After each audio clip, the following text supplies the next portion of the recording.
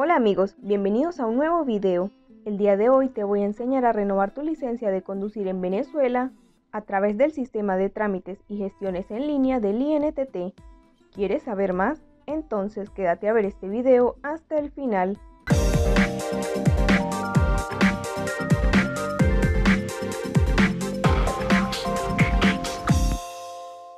Primer lugar, debes tener presente que para poder solicitar la renovación de tu licencia de conducir, es necesario que tengas a la mano previamente tu certificado médico y las imágenes digitalizadas. Recuerda que las imágenes deben ser nítidas y deben cumplir las dimensiones requeridas por el sistema. Ten presente que el INTT no procederá con la solicitud de renovación si en la fotografía selfie no se pueden visualizar tus datos plasmados en el documento de identidad. Por eso es muy importante que dicha fotografía sea tomada con un teléfono que tenga buena resolución en su cámara, ya que solamente tienes tres intentos para cargar una fotografía que cumpla con las características exigidas por este organismo. Ahora bien, sabiendo esto, vamos a comenzar con el proceso de solicitud. Para ello tenemos que ingresar a la página del INTT. El link de la página lo encontrarás en la descripción del video. Una vez aquí en la página, hacemos clic sobre esta opción que dice Planilla única de trámite. En este punto es importante acotar que este sistema solo está disponible de 6 y media de la mañana hasta las 9 de la noche. Luego procedemos a iniciar sesión con nuestra dirección de correo electrónico y la contraseña de acceso al sistema.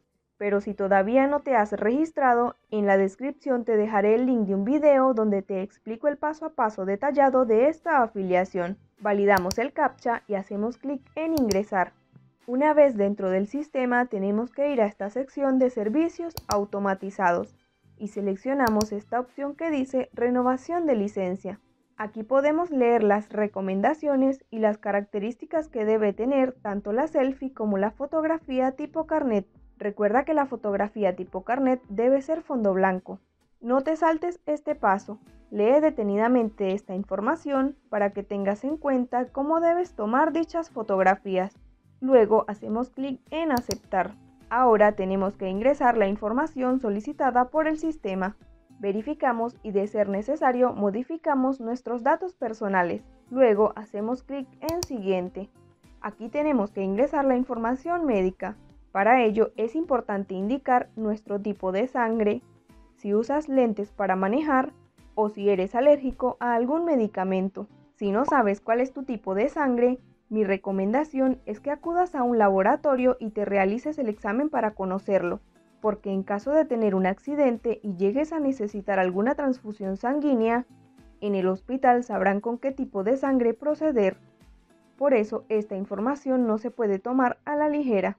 Cuando completes la información de esta sección, hacemos clic sobre Siguiente. Ahora vamos a ingresar nuestros datos de habitación, es decir, nuestra dirección exacta detallando si vives en un edificio o en una casa. Hecho esto, hacemos clic en Siguiente. Ahora tenemos que cargar las fotografías al sistema. Para ello, hacemos clic sobre este icono de persona y buscamos la fotografía previamente digitalizada y guardada en tu ordenador. Cargamos nuestra selfie y después cargamos nuestra fotografía tipo carnet fondo blanco. Como puedes ver, cuando cargamos la fotografía, se verá reflejada al lado del icono que presionamos para subirla. Además, también tienes la opción de eliminarla en caso de haber cargado la fotografía incorrecta. Para ello, solo tenemos que hacer clic sobre esta X y luego realizamos el mismo procedimiento anterior para poder subir la fotografía correcta. Ahora ingresamos el número del certificado médico vigente y la fecha de emisión del mismo. Cuando hayas completado la información de esta sección, hacemos clic en Siguiente. Aquí tenemos que elegir el grado de la licencia que queremos renovar y hacemos clic sobre Siguiente. Finalmente se nos presenta una declaración jurada donde afirmamos que la información ingresada es verídica y comprobable. Validamos el check y hacemos clic en Renovar. Como puedes ver, el sistema registró tu solicitud de manera exitosa y ahora tienes que proceder a realizar el pago.